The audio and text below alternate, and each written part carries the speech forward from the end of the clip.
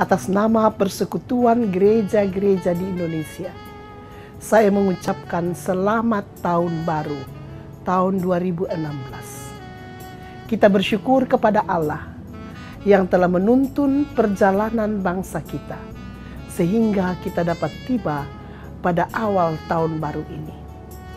Semoga rahmatnya terus dicurahkan bagi kita sehingga masyarakat Indonesia semakin mengalami damai sejahteranya.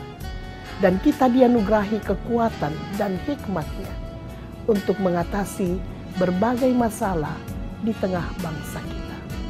Selamat tahun baru.